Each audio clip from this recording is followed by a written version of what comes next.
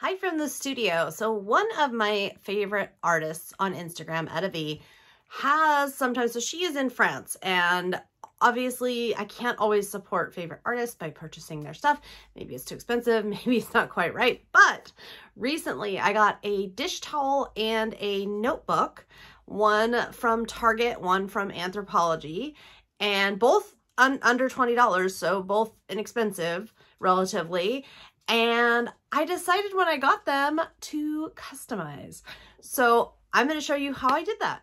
This is my notebook from Target, and I'm just using white acrylic paint. This is really fun, guys. So I'm just adding a splash of white acrylic paint on top of her design. So all this is doing is, and you can see at the very top how there's the white paint splotches that aren't quite as bright. It's just brightening it up, but it's also going to add a texture. So there'll be a painted texture. So now my notebook feels a little more custom and a little more like artwork. And this is EttaVee for Target, available online and in stores. And then you can see the difference. Do you see the difference? How that pop of white, it just makes it everything just a little brighter.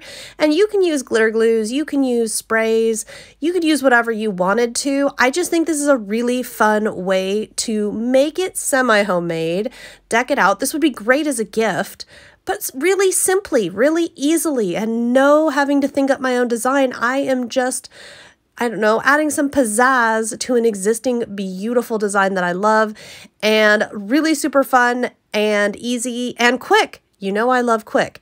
Next up, so this is the Anthropologie dish towel featuring a pattern by EttaVee, and I purchased it for the fabric. You cannot buy her fabric, so I purchased it for the fabric and gently cut off the pom-poms, which I may add back on, I may not.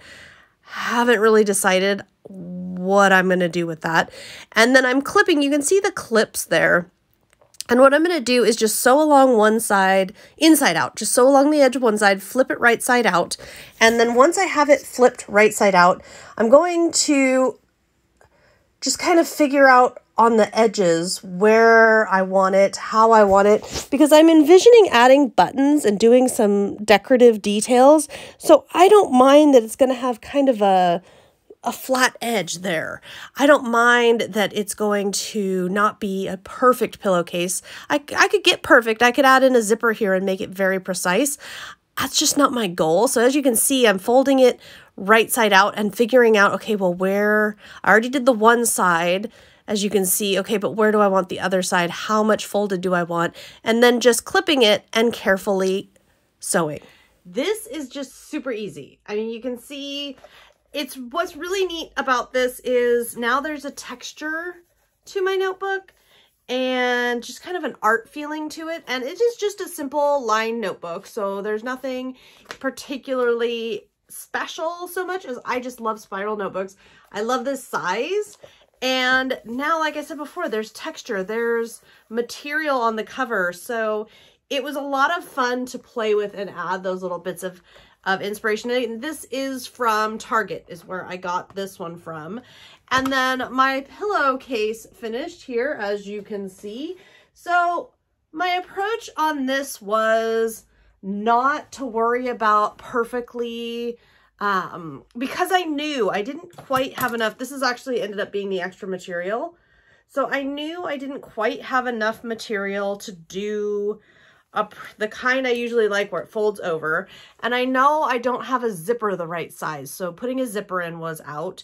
And I also know that I've just had this dish towel for a month, so I really just needed to get it turned into the pillowcase I imagined. And it's going to be a very sturdy pillowcase since it's a dish towel actually that I used.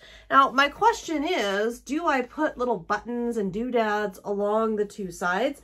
You'll notice that top and bottom is sealed off. I did that on purpose and then the two sides is, is the stitch show. So it like kind of pokes out. And I did that on purpose. That's just what I thought would work better. If I had to do it over again, the only thing I would change is I would, you can see like a slight imperfection here. And I mean, come on. It, so there's a slight imperfection. But if I had given myself just a little more room, it would be a little smoother like this side over here. I just haven't decided, I took the pom-poms off and I haven't decided if I want to put the pom-poms back on or if I want to add buttons or anything like that. So I haven't decided. Just remember a project like this, we can add on to it at any time. For right now, it can just go sit where it belongs and be beautiful and be done. And then I can always add later. So I hope I've inspired you today to either do something that's kind of semi-homemade, or if you've got that project, you've got those materials that you purchased and you had this great idea, but you've never given yourself the time or gotten around to doing it, go get that one out. Let's do it. Let's get it to done. And if you do, be sure to share with me. I would love to see what you're creating.